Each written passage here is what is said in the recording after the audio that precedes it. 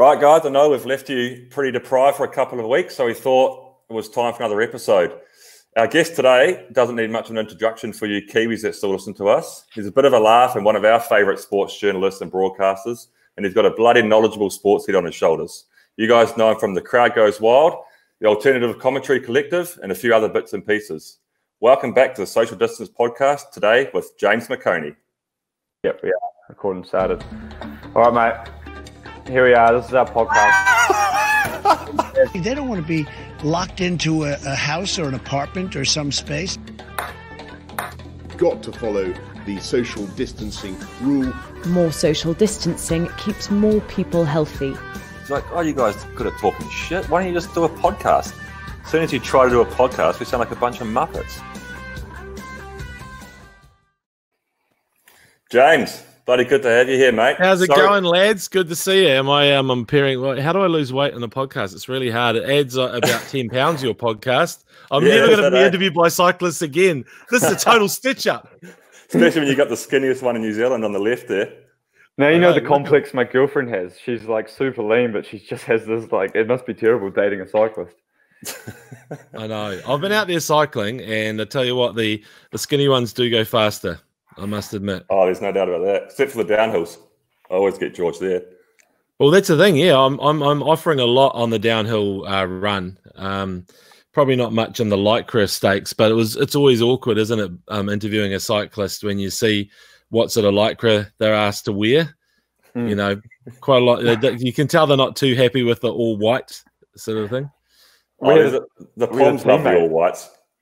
Um, what about Tony Martin? We a teammate of mine famously had a all white skin suit that, um, and he he had a sandpaper on his saddle as a grip, and he did an hour long. He was a world champion at the time, so it was you know he always have the white shorts and everything, and then you could just see as it wore through this horrific long time trial, as it suddenly turned red, seeping down oh. to the oh. white. Oh man, a bit of saddle soreness. Yeah, I don't know. Um, I actually put one of those you know, like the the rather than having to sort of always get into the lycra and wash everything and all that sort of stuff. Because I know you go undieless, right? No undies. Yeah, don't run undies. Yeah. Yeah. So I thought, well, no. Instead, I'm just going to buy the saddle cover thing. That's a little bit, you know, it does the job. It's good. Like on the old urban commuters. Yeah, yeah. I'm like a commuter. Really. So then, what are you running on top? And What are you running? What shorts are you running? Um, just a normal kind of like um cargo pants. Yeah, pretty much the cargo pants because I like multiple pockets. You know, mm. keep a Kit Kat on one, and then uh, you know a Moro bar on the other. other. Well, there's something you can get like the like the enduro pants. Are essentially a, a, a boarding short, so you don't look like one of us, which is fully understandable. And then, but you have an inbuilt chamois, so you can and then you can just clip it out and wash that. Might be something to look into. Um, yeah, that's good advice. But no, yeah, no, I think I mean I, have got no problem wearing the lycra, and it's actually quite freeing when you first go undiless. I think I did that for the round uh, Taupo. Um, I only did a quarter of it, um, but it was still quite a big hill. But it's it's actually quite nice. I listened to the Test cricket while I was um, cycling, but I don't know. They say you're not really allowed to listen on your earbuds, but is that a rule or is that the law? I'm not sure. Uh, I I do it I don't think you do it, George. I do it in training every, all the time, but in a race you can't do it. Well, I've made a couple of exceptions before, actually. Though the Tour of Italy one year, we had a 65k individual time trial or something. Pissing rain, hour and a half, and I was just using it as a recovery day, for lack of a better word. And I just I stuck my iPod in there and had my headphones on, listening to some music. But I don't think you're supposed to do that. But pulled it off. Still here. Finished the race. Yeah, is, are there any good go-to cycling songs that I that I'm missing? Like obviously, "Bicycle" by Queen. Um, it's the only one I can think of currently. Yeah. It depends on kind of mood. I mean, I, I, go for like if I have a, I have a list of um, warm up playlists, depending on you know for time trials or whatever. Try and get me in the mood, and there's and they're complete different genres. And it, I go through and I, I, I play a song from each one and feel which one like which one sort of I make a connection with on that day. And it turns out the ones that um, actually get me fired up. It's, n- it's not techno, it's not Metallica, it's none of that. It's, it's something like a meatloaf or a, or a, you know, it's something like a Celine Dion. You know, like a it's something Celine that Dion. You know, just hold, hold, hold. I was with you on meatloaf, but you're going to have to explain Celine. Sorry, you crossed the line. The Titanic yeah. theme. What are you doing? Yeah, Titanic theme potentially. just something a little bit emotional. That's real Nick, motivating, eh? Titanic. Yeah, well, okay, Nick Cave. There you go. Something just real sad. Nick sad. Cave, motivating. Just real sad, and you just try and you know you almost want to cry before you get on the bike. You're going out the bike, you just tears thinking about your ex or something, and you just find it off, and you find something special, you know. yeah, we all miss your ex. She was great. um, but I think like the thing is, is that um, even when I'm listening, I, I go for um, uh, comedy podcasts. Like I listen to Comedy Bang Bang, which is quite a good one with Scott Aukerman. I don't know if people know who he is, but I recommend it. But you look like a complete goon, smiling and laughing as you're cycling past people. That you do look like a total creep when you do that. Yeah, for me, I just. Oh, sorry, Sam. I'm a, I'm to the podcast as well. Actually, normally I, I I'm always on to that those couple of those wounders, Matt and Jerry. You always show your face on or your voice on there every now and again, James. Mm-hmm. But I'm yeah, I punch through that most mornings for the first hour, gets me out to the hills, and then when I crack into the hard stuff, I always put some tunes on. Certainly not Celine Dion though. Oh, you know. No, you try. No, exactly. burn. Um. Anyway, uh, topic. yeah, topics. So how are we getting with those? I don't know. I don't know. Who's got them? Anyone got them written down? No. no I got them. I got them. Hey, James, I've actually met you before. You probably don't remember, but I met you at the Beijing Olympics in 2008 we we just won the bronze in the team pursuit, and then we did an interview with you outside the village. You made us do some punishing run through on the footpath there, like yep. pretending we were on the track. And then I think I actually pissed off on a unicycle. I don't know if you remember that. I do remember that very well. Actually, that was uh, one of my, my favorite interviews because we had to we didn't have the the broadcast rights, so we're always outside the stadium unless we had tickets and could go in to watch. So I actually never never saw you uh, win your bronze, but I did um, yeah get you on that footpath. I remember every single story I did had the the pedestrian crossing basically yeah. going beep beep beep in the background, and um, but just by hanging out there like stalking, um, I I saw I got a word with Kobe Bryant, saw oh, LeBron. Oh, nice. You know, it was actually there's a lot going on. Yeah, I bet. Well, that was the main like in and out of the village really for most athletes. That was where the taxi stand was anyway. So if you were there at five in the morning, you would have bumped into some people. Oh, I know. And that's the thing. You always feel sorry for the athletes who've got an event on the last day. I'm not sure oh. how you guys were placed. It was quite early on, wasn't it?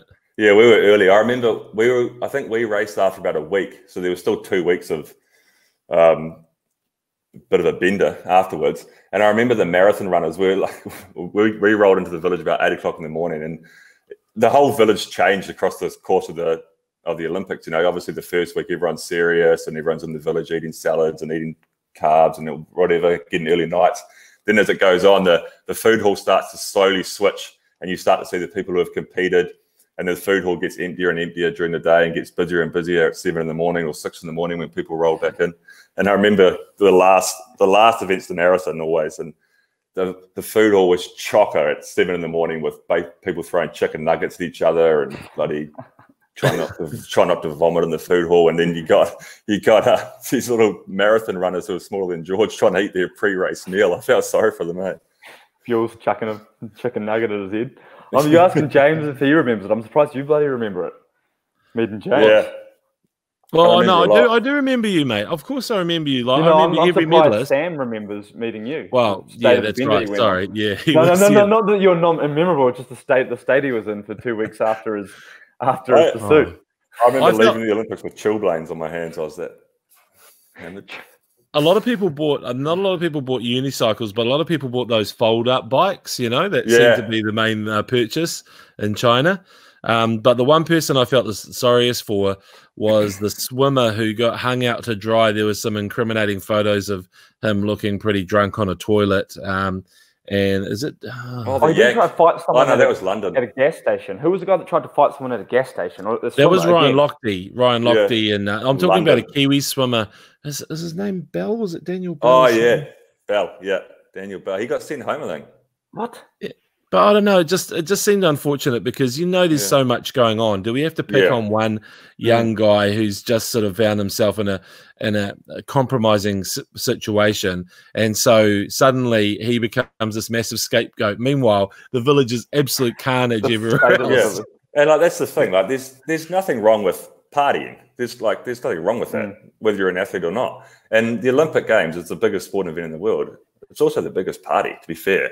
And like, there's nothing wrong with that. Why can't we party? We've we've just prepared massively for this event that comes around every four years. And when you finish, you want to go out and party. So you do. But unfortunately, there's just so much scrutiny on those athletes. There's so much media around. Obviously, you have the good sports media, people that are actually interested in the sports. But then you've got like those tabloid people, like, I don't know, TMZ or whatever. Rio was running a different vibe, though, you know, because Rio, there was, there was you know, you did you, you, James, you didn't come to Rio, did you? Yeah, I was there, but I didn't see. Uh, was I at the cycling? I can't remember. It was very. I was over by the rowing near Ipanema. Oh, it was pretty oh, nice. Oh, okay, yeah. yeah. you got you were in a good spot there. So we were yeah. we were bang in the heart of it, and it was actually quite weird though because there was so much hype about like um, they were talking about you know how the media just said it all about the the how dangerous it was, and you know everyone was getting mugged. Anyone that watched a sporting mm. event would get mugged, and so just no one showed up. And then we were so paranoid that we just you know we finished up, and I ended up on a medical watch because I was so dehydrated and couldn't move that and then and then when it was just time to we, we didn't have the party vibe at all in Rio unlike which you think was strange because Rio would be the, the city you'd you'd typically think to go and party in but um, the media well not the media but the the paranoia sort of just kind of was a real sort of de-shrinker on that one you you also yeah. had no te- you also had no teammates there George yeah that's solo yeah, that's true. well, straighten up my. I'm getting. I'm getting myself lined up now. I've just worked it out. But, um, so, uh, well, look. You know, if you we, we, we're the same. I, I, think I got something stolen, like a raincoat or whatever. but um, I didn't get mugged. Uh, I went to a um, uh, what do you call it, like a favela on the on the last day, and you know we were sort of escorted up there and shown around. Then there there are ways of sort of getting around Rio, but I do think the scaremongering was massive. If it mm. wasn't um, that, it was Zika virus. There was so much, um, mm. oh Zika, you know, yeah, stuff, and even the water as well. They said everyone was going to basically get sick from being in the water, near the water. Um, mm. You know. Uh, so there's like the old uh, always have admiration for is it the open water open water swimming oh, and yep. the triathletes and stuff because they swam on undeterred. yeah, it would have been horrible. Eh? But uh, said there was a mountain biker that um, our mountain biker Sam Gaze, he uh, walked straight into our accommodation and I think he brushed his teeth with the with the water and ended up oh. get, he did actually get really sick. But we were in these, you know, they knocked up the village, and they, it was it was um, I mean sure, I'm not going to complain about the state of the village. I thought it was pretty awesome compared to what 99.9%. That was another whole thing about that Olympics. It was quite weird. You know, you're looking across at a favela and you're sitting in a, you know, place that would house whole families and they're just going to, you know, no one could afford it. But, um, yeah, such a humanitarian. Yeah, I know. But I just, you're such a humanitarian, George. I know, but I did feel I, I, felt bad about it. so, yeah, um, but yeah, so he brushed his his with the water, and he did actually get sick. So I was like, oh, maybe I should use bottled water. I don't know. Speak. Yeah, that, that's a that, if it's a reflex action um, by Sam, then you can kind of you can't blame him because sometimes you just wake up and you just do what you normally yeah, exactly. do, right? Well, they also um, tape over the you need to tape over the um, taps. Ta- you know? Yeah, I think so to stop you just from getting complacent. But Kiwis are the are the worst or best, if you put it this way, where they'll they'll listen to the advice and they'll take it so seriously for 48 hours, and then they just let it all hang out and just uh, sort of like going to all the worst places. I remember even in um, Johannesburg for the 2010 World Cup, our our Garmin uh, GPS took us to all the dodgiest neighborhoods that if you went online and said where should you not go, it was like do not go there. And we were going through there the whole time. And uh, one of the rules in South Africa is at night you're allowed to run the red lights because oh, uh, really? because of carjacking. Yeah, yeah. So I love that rule. Um, and uh, and so we just kept the kept our momentum and you know got home every night. There's a there's a thing in cycling um, by this this kid I I used to ride with. He's actually in jail now, so I don't know if this is good advice, but he used to run red lights, and as long as he yelled out "bulletproof" as he came up to the intersection, he backed himself to get through. Was he oh, bulletproof in jail?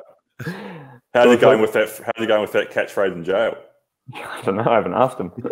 He's stuck in Perth. um, so James, mate, so you guys have you obviously moved into level three now, um, but it's still been a long lockdown for you guys the main issue, I guess, for you or for a lot of people is well, not the main issue, but it's certainly an issue. Is there's no live sport on? How how are you coping with that? Because I I really believe that people are starting to think starting to, to realize how much they actually need sport and how much they miss sport, and they might not have known really realized that before. Yeah, I mean the punters are obviously struggling, but even some of the athletes. I had a, a text, I think, from Scott Barrett, who was just going, "Oh, they, you know, they need to get some footy started soon," and so he's just uh, he's in Christchurch with the Crusaders, so you can tell that they're they're all just waiting for um for the green light, and um for I mean, you, you just adjust your life, don't you? Like normally, my uh, viewing habits over the weekend pretty much revolve around sport, so I've I've uh, learnt to uh, watch a lot of um, binge watching nice little Australian sitcoms like Rosehaven, which I recommend. Nice. It just takes it's, it's, it's escapism. Yeah, it's like a it's got a quirky comedian in there okay. called Celia. She's an Aussie and she's great, and um and her sort of writing partner. So so that, that's the whole thing. What I what I'd almost do, even though I still go down a YouTube rabbit hole sometimes watching greatest goals or some sort of you know classic catches or something. Um, it's not enough. So I almost do that thing where I just go, forget about sport. It was only probably three days ago when I decided, okay, I'm going to watch the Michael Jordan uh, documentary, mm. The Last Dance, and I guess you guys might have had a peek mm. at that too. Yeah, I I went down a rabbit hole the other day or a few weeks ago, watching uh, Brian Lara's 400. Yeah, just about watched the whole innings. Got me well, through a couple of days. And last Saturday we, re- we, we both revisited Game of the Century, um, All Blacks Australia, Yeah, yeah. Uh, Lomu. Oh, oh no, oh. it's the wrong one. It's uh, will he get there? You betcha. Yeah, you yeah, betcha. yeah, you betcha. Who was that? Grant Nisbett or Mixed or something? Nisbo. Yeah. Taine Randell with the sort of basketball pass over Jonah, and it was Larkin was chasing him down. You'd think he's got wheels, mm. but Jonah next level, eh? He's just yeah. uh, amazing. So, um, yeah, we, we actually, um, I mean, we sort of have in some ways sport. Um, we're doing, I've already, I've actually been doing a few online races. So has Sam. Uh, like, where you, we have a thing. So you have a home trainer, and you, it has a power meter in it, and then you you have a, a computer program. You put your weight into it, and um, you just race people. You go online. There's these set races, and it's it's e racing. It's e sport essentially, but it's. I mean, it's it sucks, but it's it's like we're having sort of team competitions, and there's been the whole e Giro that was on last week, and um, yeah, there's quite a few guys, and they're proposing that we have a an e sport or an e Tour de France and things like that if it, if it can't go ahead. Um, and I'm looking at other other sports they're doing, like like the the Phoenix are playing FIFA, or the A League are doing a FIFA competition, and F1 they're doing, you know, they're having all simulations and stuff. Um, out of all of them, I think cycling has the the most enjoyable one. It's sort of not much of the gaming aspect and all of the, the suffering aspect. But um, do you think esport is, you know, how, how far does esport go in, in sort of like satiating people's desire for sport? Um, I think you could probably throw a bit of a celebrity element to it. You know how they've done that with Scotty McLaughlin and all those, yeah. um, the sort of top uh, drivers. You know, you know, and um, everyone else called Scott. I think you know if you can see somebody who is well known playing FIFA, you'd watch it. You know, you'd have a little bit of interest, like LeBron playing NBA mm, NBA Two K. Oh yeah. yeah, yeah. But I reckon that in the end, it probably is. You guys are in that sort of position, like you say. You're the ones that have got the proper suffering. You'd have to really test the um the resistance, though, wouldn't you? Like, would people be trying to sort of tw- tweak it down? How do they control it? Chronic cheating. Chronic cheating. Chronic. So I did. I did the. Um, I, I, I was well admit I was quite hungover, but I still did the the, the first stage of the E Swiss race, and it was on this platform. And I um I did. It was an hour ten or something, and I, I know my numbers. So I have my power meter and I know what I can do for an hour normally, like a good baseline. And I put out some pretty good numbers for an hour and lost 12 minutes to. I was nearly last, so I was in a fight for my life not to come last. I just didn't want to be that guy, you know. Like I didn't want people to think, oh, he's just going and taking the person, hasn't even tried. So I was fighting my life not to come last, and then I got to the finish, realized I'd lost like eight or 12 minutes. And the only way that's possible if, is if someone's I think everyone just lies about their weight. That's the easy thing. You just say you're 40. Yeah, kilos. but you, you couldn't do it on that system. Yeah, I think I don't think no. I think you just you just didn't have the ability, unfortunately, on that stage. but the, the the um I don't think on that system you could do it, but it's definitely happening. Like on the on the Zwift system, which is um the biggest online system for cycling. Um, it has like I think that some some days they have hundreds of thousands of people on there at a time, but then you get the there's so many of them are like um, recreational bike riders, but they want to win these Zwift races because it's just like people get they get sunken into the, sucked into the world. It's like it's that's quite bizarre actually. Sometimes I sort of get sucked in there and I think like I'm on a, on a game, and all of a sudden you do get competitive with some guy and who's living in the states who you've never met before and you never will, um, probably a lawyer or who knows what, you know. And those people also get that competitive aspect, and they're hundred percent they're changing their weights and stuff like that. But are they the yeah. worst people in the world? The people that cheat at esports, like cheating oh, at yeah. one sport, like cheating at, like cheating in cycling, like let's say people taking drugs, whatever. I mean, I think you're up there with with the worst people in the world. But you, there's at least, I mean, I can understand some guy that's come come through. You know, he's got nothing and he's got nothing to lose. Maybe he's born in, in some Eastern European country. He's fight, you know, and then he goes, "Well, I can make a million dollars a year if I don't get if I do this and don't get caught." You run the gauntlet. But like esport, what are you going to win? No one even knows you. You're just an avatar. You got a re- cheating. You got a real extreme extreme line of who you rate as the worst people in the world. Like you went from having the guy's the worst person in the world to almost justifying it. Yeah, yeah. I was going to say, is there a guy in Texas who sort of uh, signs in as 35 kgs and stuff, you know? Yeah. Oh, there is. You, you, see it, like you, and like George says, you, you know the numbers you can do, and you know that in theory they're in the top percentage of bike riders in the world if you're a professional bike rider, and you see these guys and you're like, they're actually punishing you. Like, there's no chance, there's no way. Hey, do you know who's on there that um, I've been talking to lately? He's, he's, I've just got him signed up. It's Conrad Smith. He's told me uh, two days ago he was he's doing some online races. He's got into it in a big way, and his brothers um, is is for years was one of the Nathan was one of the uh, New Zealand Olympic uh, Paralympic cyclists, and uh, so he's got Conrad into into riding, and he comes and, and watches the tour and the Vuelta and stuff, and he he was said he was he was stuck in a race with a couple of Frenchies, and he had them on the flat, but I think the um, the years of lifting weights caught up with him. He reckoned on the hill, and he got spat out the ass. So it's, it's, it's surprising who you meet on Zwift. Um, might be something for you, James, if if lockdown continues in a big way.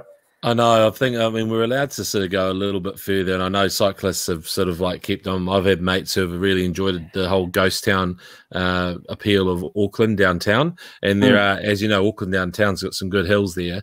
But mm. I um I, I, know Conrad did the uh, round Mount Taranaki, which is about 150 mm. k's. What a big and, crash!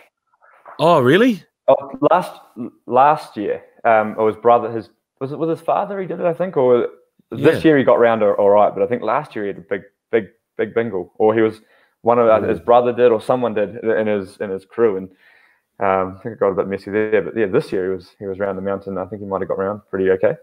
So I, I did about 20 Ks just I was supporting a disabled athlete, athlete called um, Anton Bessling and he um, he's a great great kid uh, and he's you know his his goals to be in the in the Paralympics one day as well but um, the 20 Ks I did was sort of near sort of Mount Taranaki, just near Stratford, and you oh. head down all the way downhill to State Highway 3, and you hop on um, State Highway 3, and seriously, it's the running of the Bogans.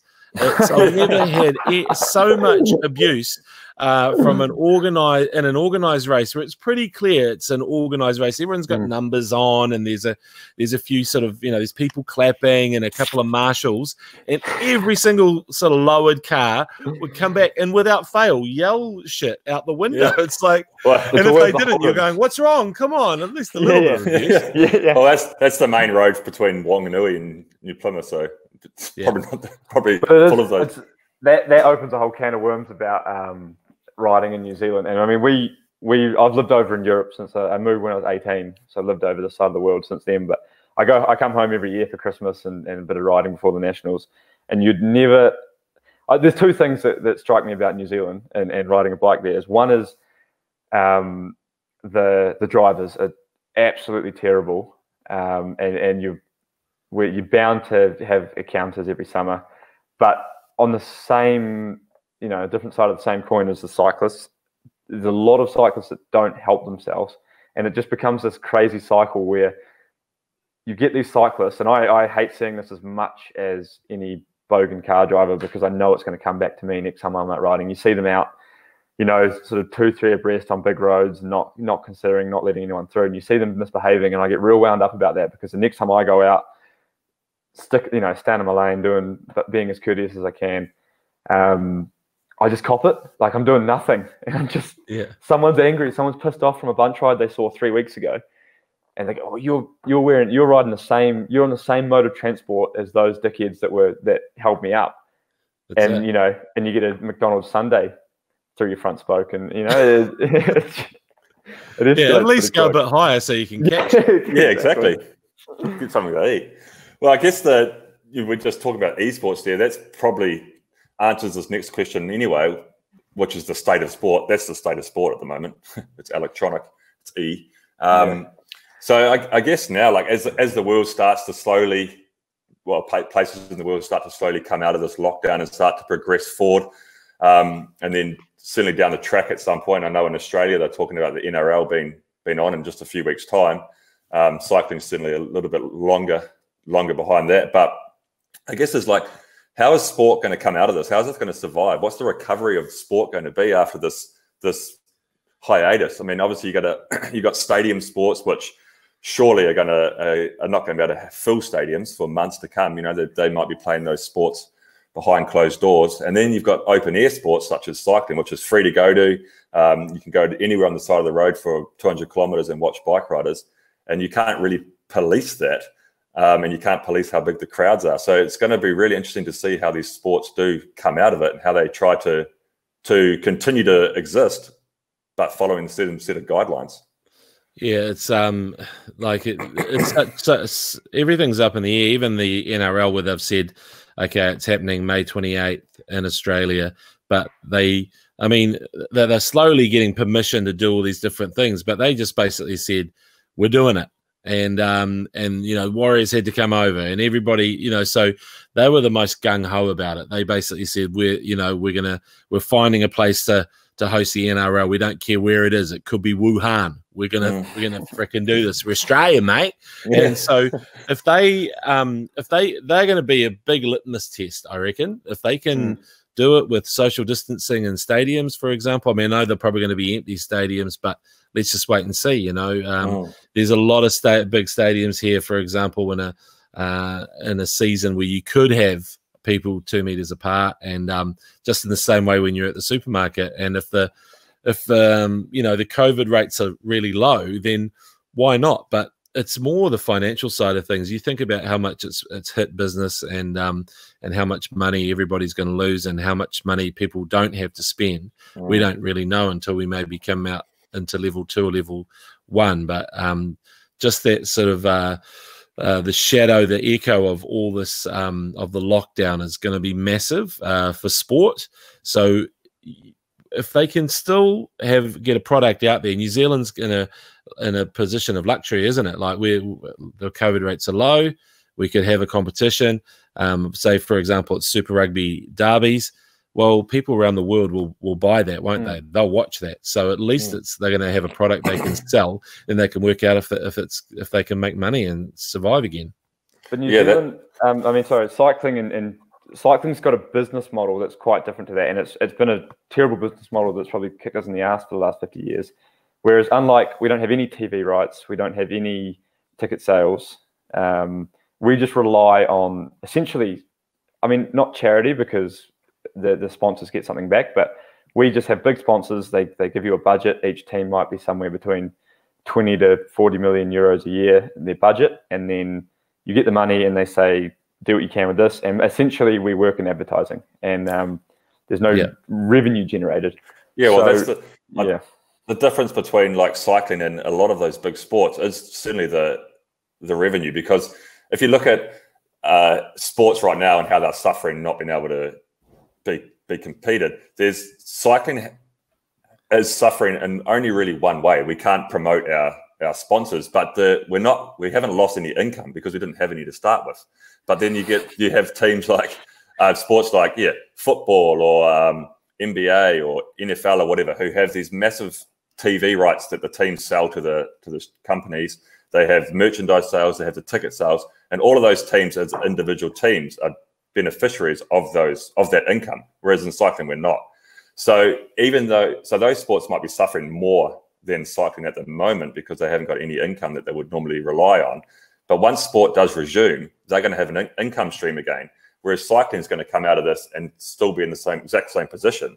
And all we've done is have sponsors and companies hemorrhage money through a crisis, mm. and then they, they go, "Fuck! Now we can't afford the cycling team because there's no income."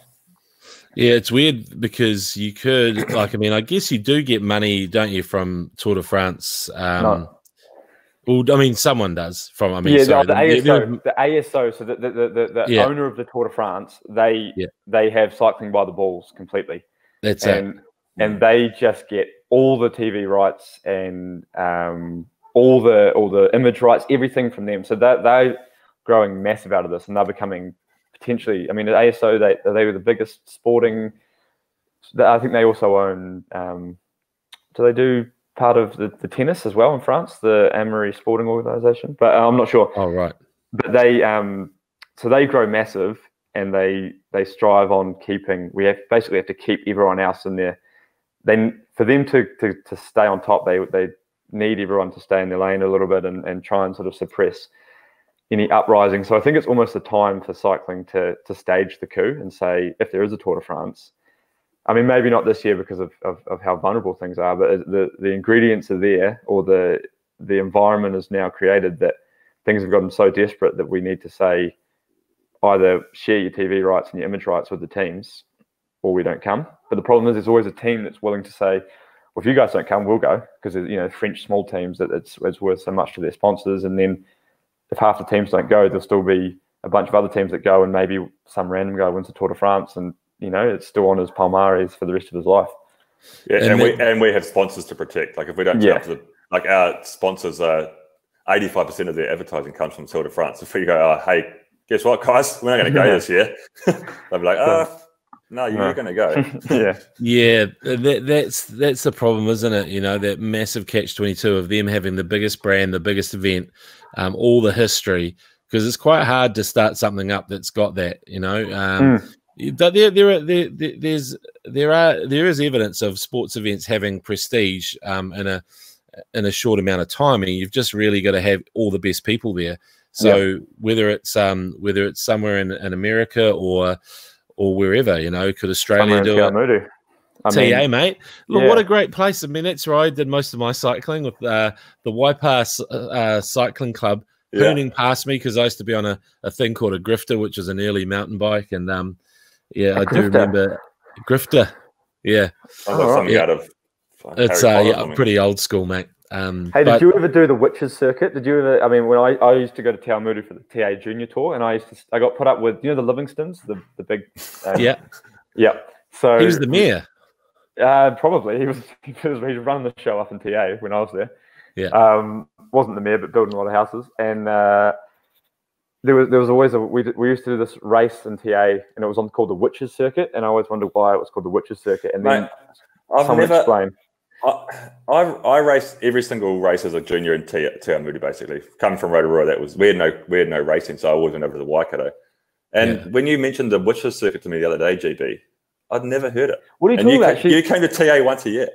Yeah, I came. I came here twice in my life. I loved it. but there was a witch up. I can't remember what side of town it was on, but just out of town, there was a lady that lived in the tarpaulin tent. Do you, is this ring any bells?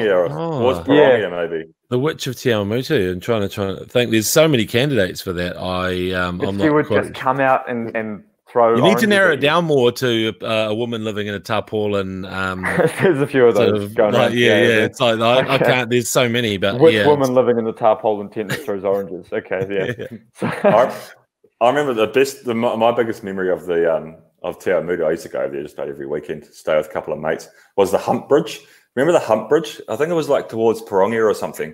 Yeah, yeah. And, uh, it's uh, yeah, the, hump, uh, the Humpty Dumpty Bridge, which gives you, if you go over it in a car, yeah, it makes you feel um, uh-huh. funny things in your nuts. And there's all the, there's all those grooves. Like everyone used to jump your car. I think we we jumped um, our friend's dad's old BMW one one day. We got off the ground. Yeah. It was pretty freaky. Great, one of the great bridges, but un, yeah. an unsung hero of a bridge because everyone's going, "Oh, Golden Gate, blah blah blah." But yeah. What, that doesn't give you that feeling, you know. No, exactly. When you go over it.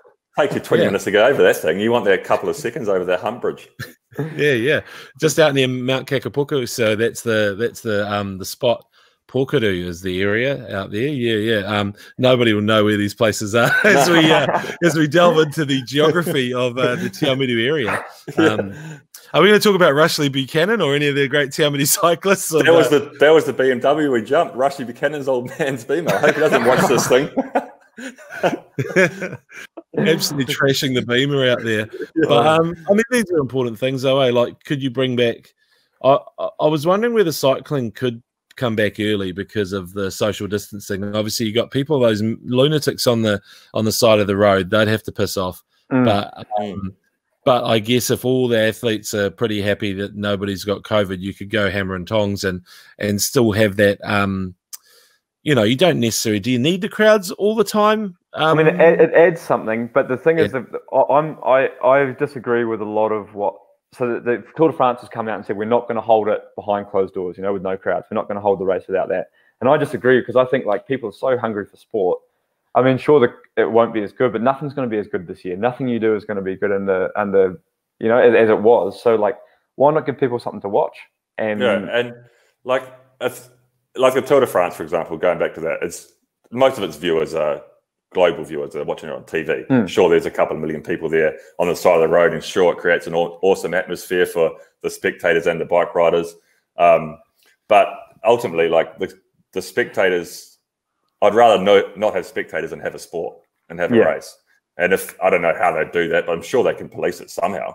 Um, yeah. And if, it'd actually be safer as well for us sometimes, you know, like going up those climbs when you've got like a million people on a 10k stretch of road and you've seen a couple of crashes or oh, drunk, drunk fans or whatever, a few punch ons or whatever. But um, it's it's not worth it's not worth missing the missing the race and missing the sport so that the fans can be there yeah, well, it seems. I mean, I guess what, what, I, was, even though yeah, having the fans is awesome, ringing cowbells and dressed as the devil and all that, but um, there's obviously a bit of at least uh, atmosphere or whatever generated by the peloton or you know just mm. the mm. the job because I mean that's that's kind of when you look at um, say for example when the NRL played those league games were just bizarre weren't they whereas you oh, can kind of if you're going along as well What's that? The, the, oh, cricket. the cricket. The cricket. Oh, yeah.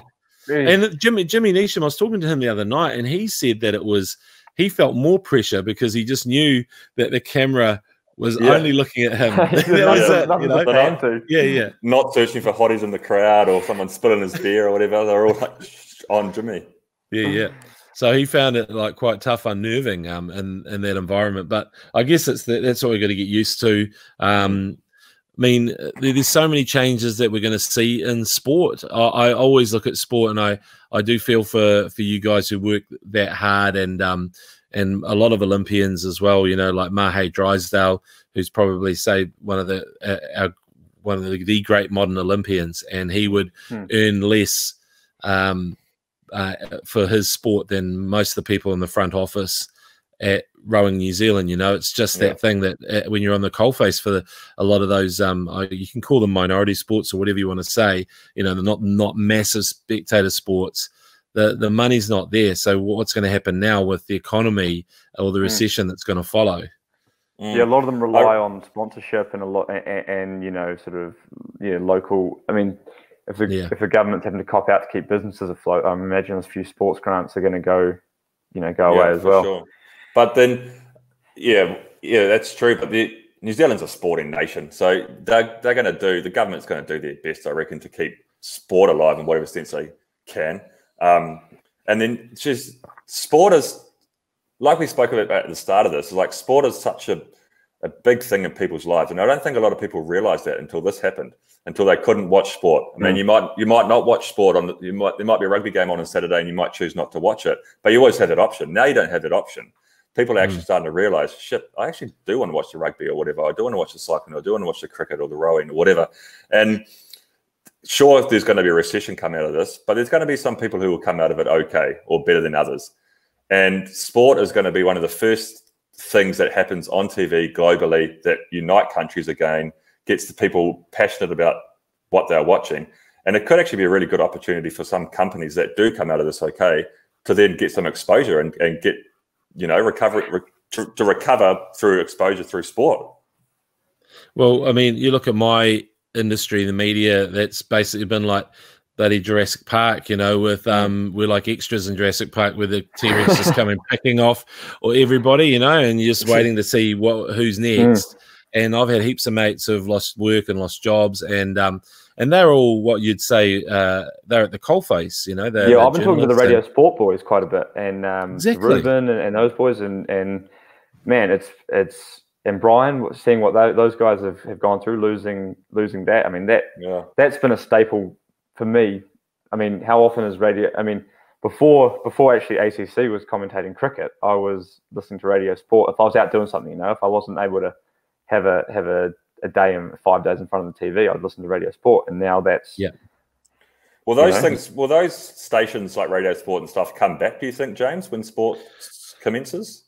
Um, I reckon they, they should be able to, but they're just going to have to change the entire business model. I mean, there's a lot of um, sponsors who would be loyal to Radio Sport if it if it uh, you know sort of rose from the ashes. But the problem is, do those sponsors have uh, money anymore? Are they a business yeah. anymore? So yeah. you just have to wait. And so, I mean, I think that what it's shown because all my mates have lost work, um, work for those big media companies, and and it just shows that there's no safety in those numbers of being in a big company. Um, it should probably, hopefully, see smaller companies uh, take flight and um, and where you know that that content is king. I mean, they are content NZME and Bauer are content creation companies, right? So mm. Bauer was the magazine company.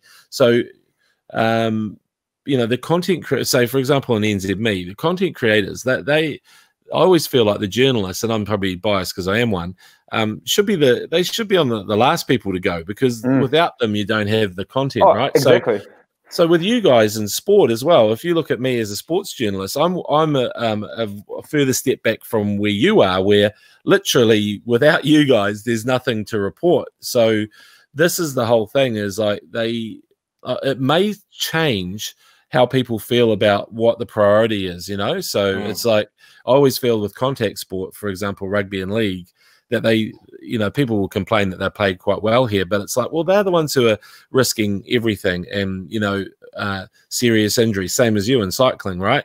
But um, so that they they earn that danger money or whatever. So it's not really, um, uh, but you know that without them, there is no sport. You know, you, yeah, can, that, you could probably survive without the without the general manager and all these other people um, brutally, but without their Absolutely. players, there's nothing. You know? That's the big argument we've always had in cycling is that we've been, um, yeah, never never been a beneficiary of these TV rights and, stuff. For example, you know the ASO making hundreds and millions of dollars for the Tour de France, and the team's not seen any of it. But we're we're the actors in the play, and like yeah. that ultimately, like you say, the sport doesn't exist with without the athletes. And yeah. and and sport isn't just sport anymore. Like the way sport is a, such a globally viewed um, thing, industry. It's entertainment as well, and like you, you, can also argue, oh, Leonardo DiCaprio is getting paid twenty five million to make that movie because he's entertaining you. That's what sports people are doing as well.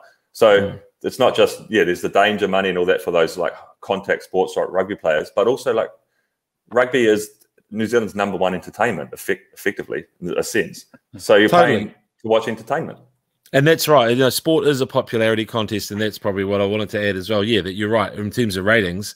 Um, they they earn it because they're the biggest show, and that and it shows. You know, and there's a reason why Lorde gets paid the most as a musician in New Zealand because she sells the the most tickets. You know, there's just that is a brutal reality of it. So, um, but yeah, I guess now that we now that we've kind of have, having to think about what really it takes for a, for a sport to tick, well you've really got to protect the um, the athletes and make sure that they're they're going to be okay. I mean, every single athlete that was um, preparing for Tokyo Olympics um, has had to put things on hold. I mean, is going to be another year older, so he'll be like sixty or something, and um, he's like, so the, the, everybody who's who's uh, and they don't realize that you know, that's for example, the hockey team, you know, the hockey team, they, they live like students, really. If you play yeah. hockey for New mm. Zealand, you're, you're living like a student. So they're delaying their lives big time, you know, like or whatever their earning potential is. Yeah. And there's a lot of smart cookies who sacrifice, you know, probably you know hundreds of thousands of dollars in just a normal sort of uh, wage to play hockey for New Zealand. Yeah. Um, so you And know then- it puts yeah it puts it on hold, doesn't it? and then those those those sports that aren't making um, the athletes aren't making a lot of money, where they're living probably hand to mouth it in a sense. Um, when they come out of this, when they come out, when we come out of this crisis and they start to compete again, they're going to need to be promoted. They're going to need to be effectively jammed down people's throats again, so people are on board. Go, oh yeah, let's watch the hockey. Let's watch the hockey. And who's going to do that if you'd fire all the journalists? Yeah. That's right. Don't don't fry the journalists. I mean, I'm sure, like you know, if, if you look at radio sport, I, I think it was. I never trusted the radio ratings. It's a book system, so who's going to fill out a book? You know, mm. it's going to. Well, I've never, I always wonder that. Who I've never been asked that. I mean, okay, I don't live in New Zealand, but when I when Yeah. I'm there for three, I've never been asked if I'm there for three or four months a year, maybe. Who's filling out those books? Yeah, and posting them back. I mean, when was the last time you posted anything that really, you know, you're Is not going to do it? So they send it to you, and then you Yeah. what? Then you. I never even had it sent to me. Yeah, yeah, you tick tick the boxes. I will, I will listen to Radio Sport in this these hours, then listen to Hauraki, of course, and Yeah. then um and then send it back in. I mean, nobody's doing that, and so that's why I sort of think like you know they're a victim of the the the ratings not falling their way, and I Mm. think it was kind of like a lot of people. Um, you know, their, their second favorite station. Everyone would always tune into Radio Sport to see what was happening, and um, now I'm hoping that they can kind of keep the team together and become something in some Mm. way. But uh, it's quite expensive, I think, to get a radio frequency in New Zealand. So they need to, the government needs to do sort that out and, and uh, to make it accessible. So So they need to get on a boat and sail out into the Hauraki Gulf and broadcast pipe Yeah. pirate radio. that's right. Mm, And um, yeah. well, I mean, uh, ideally, you could do it online, right? Because we're all listening to podcasts, but I just don't think people have got to that level yet. And you know, when you're in your car, you listen to the radio, don't you? Half the time, or in, in the Mm. morning, you do. Yeah. Yeah. Well, we went on. Um, you know Jed Jed Thian, Jedi? Yeah, know if you yeah. know- yeah. So me and George did on his radio show in Hong Kong the other the other week. It was a fucking disaster. But anyway, um, as you can imagine with Jedi. But um, yeah, he, Yeah. he's he's doing it online. He's not paying for a radio frequency. I'm sure. no, But no way. No, and he, you know he's a talented guy. He knows his stuff. Um, Jedi. He he's you know he he'd have tons of o- options, but I sort of feel like um, quite often when you if you approach like the the big corporates and the companies, sometimes you just don't. There's not a fit. There's not something that you really want to do. Like I'm so Mm. lucky that Crowd Goes Wild exists Mm. because the mainstream media isn't really my thing. So Crowd Goes Wild, ACC, Hauraki, which are kind of the three media outlets that I do most of my work for. I'm just grateful they actually even exist because what else is there that you know I'll be a square peg in a round hole. Well, I'm the round one, I guess, round peg in a square hole. Yeah. So, and and you'd have to create your own so- your own thing, and that's what people will be doing. Um, it's a bit of watch this space. Hopefully, we'll get to that point where everybody is quite happy to sort of like stream stuff uh, live as they're out and about. Um, you know, in your car or whatever. Yeah. And that's that's I guess how it goes with like Radio Hauraki is like I mean we we don't get that over here in Spain, but we still listen to it. because we're streaming it, you know, through iHeartRadio iHeart. or the, the podcast um the podcast they put out. Mm. And I guess yeah, that's always that can be definitely an avenue for for radio and potentially a cheaper way for at least for the radio sport or or stations like that to start up again because it's going to be necessary to have that that stuff again for sure. Yeah. Oh well. Um, we've probably taken up enough of your time, James. What's what is it's it, it's uh, Friday night in New Zealand, is it? It's Friday night. It's a pretty lonely night uh, tonight. uh, Suck, suck my- my- to- Yeah, Two I don't. I don't want. cycles out of the I. I, I don't want to complain about anything. Um, you can see. See, I've got a toilet duck behind me. Is that quite? It's quite. Oh good. yeah. Oh, What's he good. doing there? I've noticed you're the only Kiwi that doesn't have a tui. Me and Sam have just come to the, the shocking realization that in our backgrounds we're both rocking New Zealand's native birds. Um, Right. We're so Yeah, we're so patriotic Kiwis, eh? Like you go Yeah. like, like I probably wouldn't have a key, uh, this this on my wall if I was living in Rotorua, but because I'm in Spain, I'm like, oh, I better get a tui on the wall. Yeah, and a, a and a cup. I've got a, a coffee cup with a kiwi on it and a 16 Pounamus on, and yeah, I'm running a lot of. You really are. You miss you miss it so much. When you send away at 18, you're like this orphan that's like, why did yeah. you send me away? But the tui is that the, one of the best sounds when you get back home though. Oh, Some yeah, of the native, mate. it's so good. Yeah, you just know you're home. Well, you know when you get off in Auckland Airport, you're walking through the duty free, and they have the the tui sounds and stuff at Auckland Airport there. Yeah, yeah. And you're always like, oh. with the automated pulpity. But then they don't have a they don't have a bakery. You can't buy a pie. It always pisses me off when I land in Auckland Airport because I'm like, oh, I've been overseas for eleven months.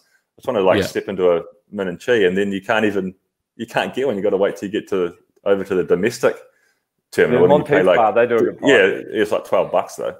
Yeah, yeah. So you do forget how important pies are. Every single athlete um, I've spoken to overseas misses the pies big time. Like James Lowe, who's in Ireland, he's just saying you know, they've got pastries, but it's not the same. No, but a pasty's not a pie, is it? I, I no. had a I with a with a um, Cumbrian recently. I had a encounter where it got quite heated that he was claiming a, a pasty was essentially just, oh, a, pasty, just a yeah, pie. No, a pasty, no. sorry.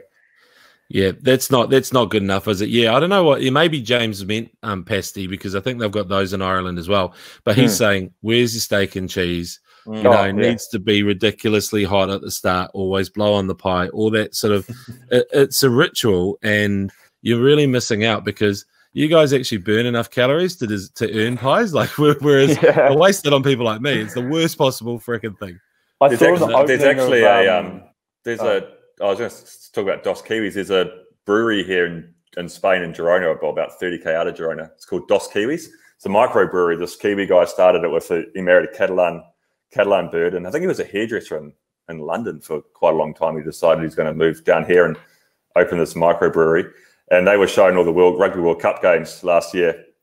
So all the Kiwi boys were going out there every every weekend or whenever to watch the All Blacks play. And then they ended up getting hold of some pies. They had the, mm. I think they came from Barcelona or something. There's a, a cafe down there called Little Fern or Kiwi Fern or something. Yeah, and uh, and we actually had we we got our pie hit. We watched England smash us in the semis. I always got. I lived in Spain for a little while in Madrid, and I got a massive shock. I was supposed to be playing rugby there actually, and I pulled a hammy and decided to get, get out of town. Who are you playing for? Valladolid. Uh, Cal, no, not Valladolid, which is one of the big good clubs. Um, I, I, was uh, playing for. Do you know Matt, Cal- Matt's playing there now? Oh, really? Yeah, Matt's... yeah. He just made the. He's just made the um the Spanish national team. I read something about that. Yeah. yeah. that's quite cool. Yeah, um, there's a few Kiwis playing for Spain back then. My mate was coaching Spain, a guy called Bryce Bevin, oh, and oh, yeah. he, um, he, uh, yeah, uh, he sort of set me up with this club called Cal Madrid, which is right in the middle of town near the Atletico Madrid um, stadium. It was a, a good spot, and um, and I, I love just mixing with all the all the Spaniards. But I did notice that you know they mainly congregated in bars. Like you they wouldn't invite you back to their place. They'd say mm. let's meet at the mm. at the bar. And you go there and on the floor in the bar is just toothpicks and shells and like fish um you know like they eat the sardines and legs and stuff. Yeah. And i was yeah. like what's happened? Has there been some you know like some there's been a break-in or some kind of like riot? And it's like no they just basically that have you never wear your good shoes out in madrid no, that, don't wear your good shoes out. That's the that's the advice. Good advice. That level of hygiene probably didn't help the fact that they were the epicenter of COVID nineteen in Spain. I suppose. No. Do people drop stuff on the floor? And uh, is Andorra a bit different, or um, oh, Andorra? No, Andorra's just um, what's quite strange now because Andorra's a town built on um, immigrants essentially, but like me, uh, or migrants. Work coming here for work, and, and there's a lot of ski and stuff. Now everyone's buggered off because all the tourism's closed it's just a bizarre, it's a very bizarre feeling now. And yeah, I don't know. There's not really a, a sort of social scene, unlike Girona. I mean, I'm also based in Girona half the time as well. So um, just across the road from Sam. So down there, it's got much more of a sort of uni vibe and a, a bit of a sort of sense of normality. But I'm stuck on the top of a mountain and I'm yeah. here for you know altitude, and the only sort of company I have is is yeah my girlfriend that's locked in this this room with me for the last seven weeks. Mate, you're not you're not missing anything down here. No, I think it's, it's universal. Unlike uh, New Zealand, I saw when we went back to level three, New Zealand managed to run about six McDonald's franchises into the ground and about by about half eight in the morning. and KFC was the queues are still ridiculous around KFC. Not that I've been sniffing around too much, but um, you know, there's always my local Wendy's, the uh, the old tried and tested, um, Big Bacon Classic. Uh, yeah, I, I do remember. Like I was just thinking for you guys now, the weather is probably going to be okay because you're getting up to. I remember they say said in Madrid was it hasta la cuarenta de mayo no te quites el sayo, which means until the 14th of May, don't forget your raincoat because Mate, but then dress- after the after the dress the 14th of May. They Yeah. dress the calendars here. I walk around like sometimes in January, it can still be 20 degrees in Girona. So I go to the supermarket. Uh, even the other day, I went to the supermarket in April, 20 something degrees. I went in jandals and a Michael Jordan singlet. And I just, you, they look at you like you've got three heads because it's not, it's not the calendar summer yet. They just dress to a calendar. Still got scarves on. Today's first of May. We're gonna have people just kidding down all this. It's like strip poker throughout the year. They just first of May they'll lose a layer. yeah. And that's that's the thing. It's coming up to good times, the good weather. Yeah. Um, you can't. I mean, it's it's such a shame, like for for Spain, it's got hammered so hard because um, it's uh, an awesome country. You guys must. Um, I know that you're in you're in Andorra, but um, you must spend a bit of time in Spain as well, George. But for you, Sam, uh, have the the locals welcomed you big time? Mm. Yeah, I mean, it took a while. Um, Girona is quite a funny place. It's, well, when I first moved here, it was very much um, a local local place, but it's become more and more touristy over the years. And a lot of people since speak. Game of Thrones, really. yeah, Game of Thrones. They filmed Oh, here, and right. then all- they brought the hordes. Um, and a lot of people speak English, but yeah, I, I guess it, I've been here for. I think this is my eleventh year here now. Um, so started, yeah. Obviously, I just had a couple of couple of mates from from home when I first came here, like Hayden Roulston. George came a year year later, and then um, and then yeah, branched out. Got now got a lot more local friends and like li- little local bars. Stay away from those, you know, from the Irish pub and the Rambler. Although it's Don't pretend you stay away from the Irish pub. I've spent a few dollars there Oh, in, in my time. I- but I, s- I spent a lot of time at Irish pubs. Uh, the Irish Rover, which is this is the worst thing. Like I'm a mad um, football fan. I love football, and it was right next door to the Bernabeu Stadium. And I didn't once try to go to a Real Madrid game when I was there. That was my dream when I was a kid. But I just went, oh well, I'm at the pub now, so I'll just um, you know, everyone's here. We live just Uh, down the road from Camp Nou, I guess, and yeah, we still haven't, I still haven't been. Jules has I've been, been, but I've been, yeah. They don't serve booze in the stadiums here, though. That's probably that half the reason Yeah. people don't come out of the pub. Well, it was really hard to get a ticket. You needed to know someone, but I just thought I, I showed a distinct lack of hustle trying to go to one of the absolute cathedrals of sport. And um, even though I was in Madrid for a couple of months and going to a pub that was walking distance, yeah, the Irish Rover. Yeah, Oh, oh, you- Irish pubs. They, they they do save these, save us on time to time, eh? But it's good now. We've got our little local bars um, here in Girona that we go to and just chew the fat with the Catalans, and then when you want to launch with the boys, you maybe you go to the Irish. Yeah, yeah, fair enough. Um, well, I must come over there for a bike ride sometime. You know, like um, uh, obviously more of a downhill sort of thing. I'd say. oh, there's plenty of flat roads around, and um, yeah, the Girona flat's a bit bit bigger than the than the Andorra flat that I've just given you a tour of. So plenty of room, mate. If you're ever More in than- town, More than welcome, mate. Do you reckon I'll be able to tuck in behind you and get a, a bit of slipstream from you guys? Who's the you'd be widest? better off of you? behind Sam. Not from George. I, I think Yes. I'm, I'm I'm pretty much. Um, there's a lot of reasons you don't want to ride behind me, but that's the main one. In the bunch, Maybe like- I always notice people popping off behind me. It'd be like putting an Yeah. olive on the end of a toothpick or something. Yeah. Okay. Good. Noted. Noted. All right. Well, hey, um, like we'll have a chat. We'll ca- catch up once this is all over, anyway, and Yeah. hopefully we'll all the best over there, and um, hopefully riding soon. Yeah, Thanks, talk mate. about some real sports. Thanks, James. Oh, we appreciate you coming Yes. on and giving up your time on a Friday night. No worries. I've got nothing else to do, to be honest. Get back to those Zoom meetings or whatever you. Yeah, yeah. whatever Zoom drinks got are my life. Zoom drinks. That's Yeah. it. Oh, yeah, good man. Cheers, guys. Thanks, mate. See Cheers. ya.